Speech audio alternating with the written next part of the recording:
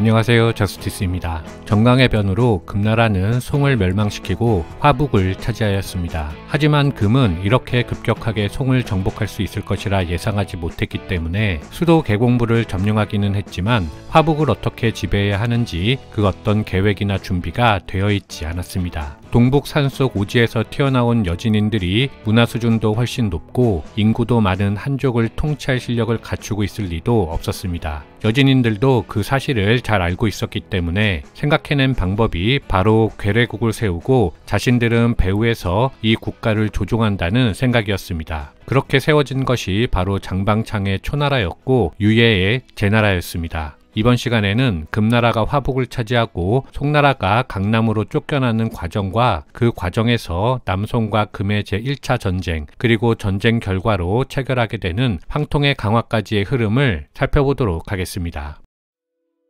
송해 수도 개봉부를 점령하며 화북을 차지한 금나라는 전 태제 장방창을 황제로 낙점하여 괴뢰국을 세우기로 하였습니다. 장방창은 첫 개봉 공격 때 화의를 위한 인질로 휘종의 황자 수광 추와 함께 영경으로 연행되었던 인물이었습니다. 1127년 3월 금은 장방창을 황제로 국호를 대초로 수도를 금릉으로 하고 대초의 영역을 황하 이남으로 정하였습니다. 당시는 금이 아직 금릉을 확보하지 못한 상태였기 때문에 금릉은 장래의 기대를 드러낸 명목상의 수도였습니다. 장방창은 송의 능묘를 보존하고 더 이상 금과 은을 징수하지 않으며 금군이 철수하는 조건으로 황제에 즉위하였습니다. 따라서 개봉은 이제 전장의 화마에서 벗어나게 되었습니다. 하지만 이 무렵 화북의 각지에서는 금군에 대항하는 송군과 의병들이 활약했는데 그들이 휘종의 군함이자 흠종의 동생인 강왕 조구를 추대하였습니다. 따라서 강왕이 응천부에서 즉위하니 그가 남송의 초대 황제 고종입니다.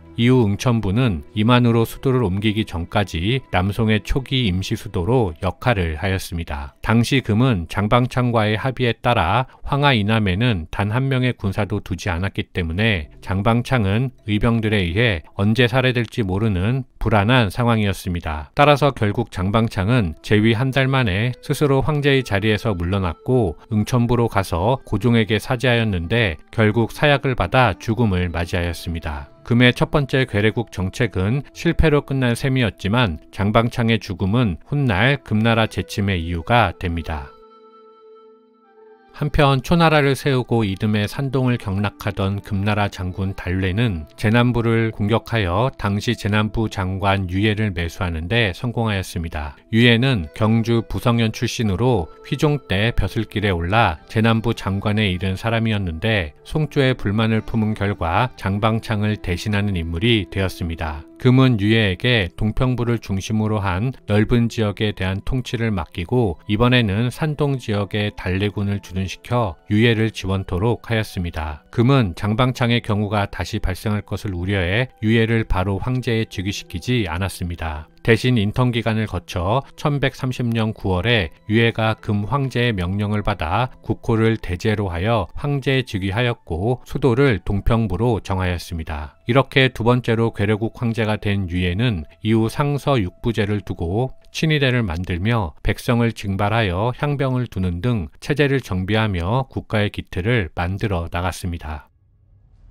한편 1127년 응천부에서 남송 초대 황제에 등극한 고종은 처음에는 주전론자 이강을 재상으로 대금 강경책을 고집하였지만 점차 화평 쪽으로 생각을 바꾸었습니다. 그리고 그 사이 화북 점령을 어느 정도 완성한 금나라는 장방창의 사망을 구실로 다시 한번 남송의 고종을 추격하였습니다. 따라서 곧 응천부를 버리고 남쪽의 양조로 천도하였고 이강도 파면했습니다. 이강을 대신해서 주화론자인 황잠선, 왕백원 등을 재상으로 삼은 고종은 계속해서 장강을 건너 진강, 항주로 후퇴했는데 금군이 장강을 건너 건강과 항주를 함락하자 동쪽의 정해로 이동한 후 배를 타고 남쪽의 온주까지 피신하였습니다. 다행히 수군이 없었던 금군은 명주까지 쫓아왔다가 더 이상 내려갈 경우 지형, 지세, 기후변화 등 자신들도 위험할 수 있음을 감지하고 다시 강북으로 돌아갔습니다. 그 결과 고종은 2년 만인 1132년 항주로 돌아올 수 있었고 이곳을 남송의 수도로 삼았습니다.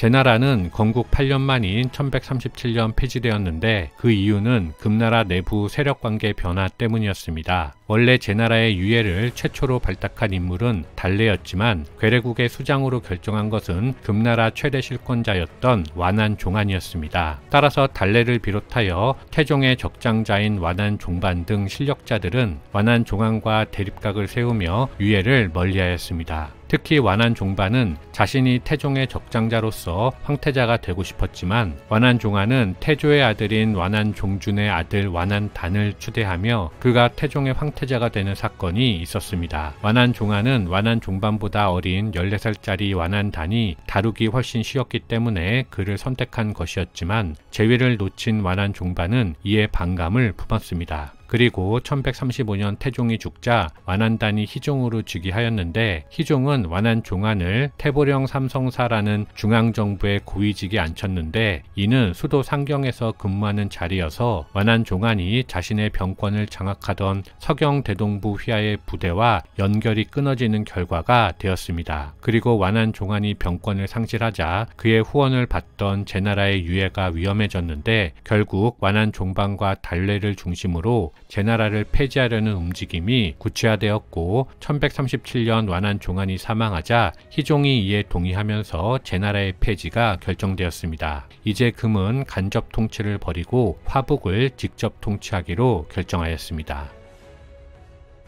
한편 남송이 개국된 후 조정은 매년 서경 대동부에 있는 완한 종안에게 통문사를 보내 붙잡혀간 황제들의 반환을 요구하였습니다. 하지만 황제는커녕 대부분의 통문사들은 억류되어 돌아오지 못했습니다. 그런데 정강의 변때 강경론을 펼치며 끌려갔던 어사중승 진해가 1130년 송으로 귀환하였습니다. 그런데 진해가 돌아오는 과정은 의아스럽습니다. 송나라를 소개하는 대부분의 책들이 진해가 배를 타고 회수를 통해 탈출해서 남송의 진영으로 돌아왔다고 하는데요. 진해는 금나라의 군대를 수행하며 남쪽으로 따라 내려와서 탈출했는데 이때 부인 왕씨도 같이 탈출하였습니다.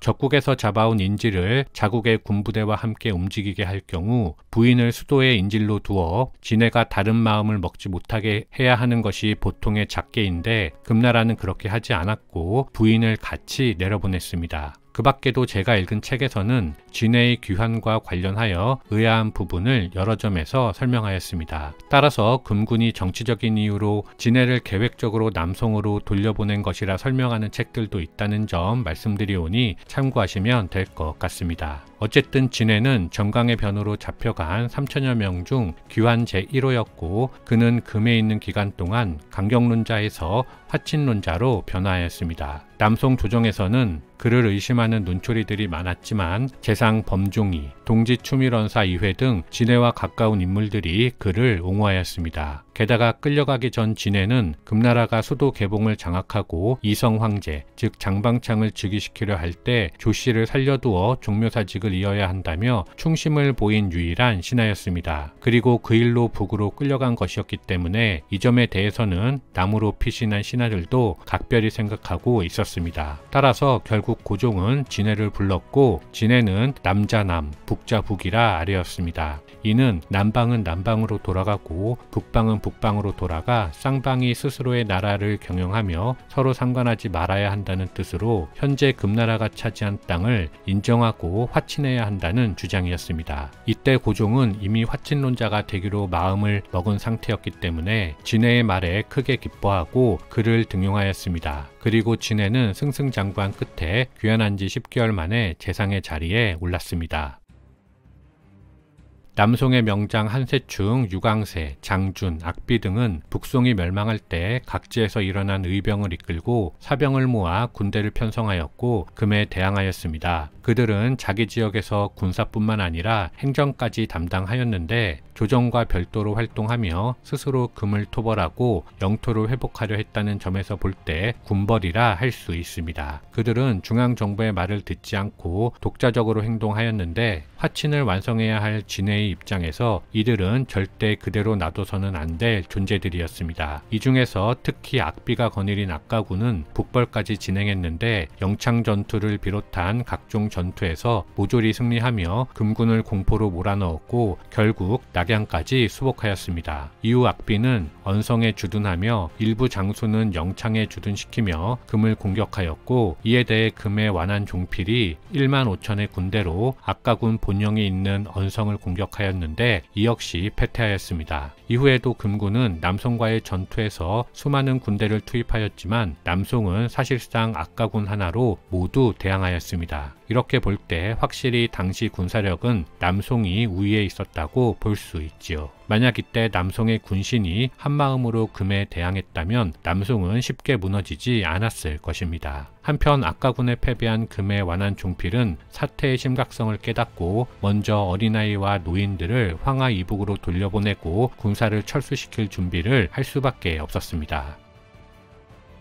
이렇듯 진해의 눈에 남송 4인방은 화친을 가로막는 눈의 가시였기 때문에 어떻게든 막아야 했는데 이때 진해가 선택한 방법은 농공행상이었습니다. 진해는 곧장 이들을 수도 임안부로 불러들였고 한세충과 장주는 추밀사로 악비는 추밀 부사로 임명하며 그들이 거느린 군대를 남쪽으로 이동시키는 데 성공하며 시간을 벌었습니다. 특히 금에 완한 종필은 가장 큰 활약을 한 악비를 제거해야 화친을 할 수 있다고 했는데 장중과 한세충마저 악비를 시기 질투하기에 이르렀습니다. 따라서 1142년 7월 진해에 파버린 간이대부 묵기설이 악비를 탄핵한 것을 시작으로 장준이 악비의 부장 장원과 악비의 아들 아군이 모반을 했다고 보고하면서 10월에 악비가 투옥되었고 약 2개월간의 법정 다툼 끝에 악비는 모반죄로 독살당했습니다. 악비가 투옥되자 화친회의는 빠르게 진행될 수 있었는데 특히 대응안녕 서쪽의 유목민족의 침입이 심해져 이곳에도 군사를 배치해야 하는 등 금에서도 화의가 급했기 때문이었습니다. 그렇게 1142년 11월 송은 서약서를 금에게 제출하며 화친이 성립하였습니다. 재미있는 것은 금나라가 아직 공식 회신을 하지도 않았는데 송나라는 화친이 성립했다며 축하했다는 것입니다. 당시 송나라의 연호가 소흥이었기 때문에 이를 남송에서는 소흥화이라 부르는 것이며 금나라에서는 연호가 황통이었기 때문에 황통의 강화 또는 황통화이라 부르는 것입니다. 강화의 중요 내용은 회수 중류를 경계로 송은 금에 대한 신하가 되고 금 황제의 탄생일과 설날의 축하사절을 보내며 매년 은 25. 25만 양, 비단 25만 피를 세패로 바친다는 것이었습니다.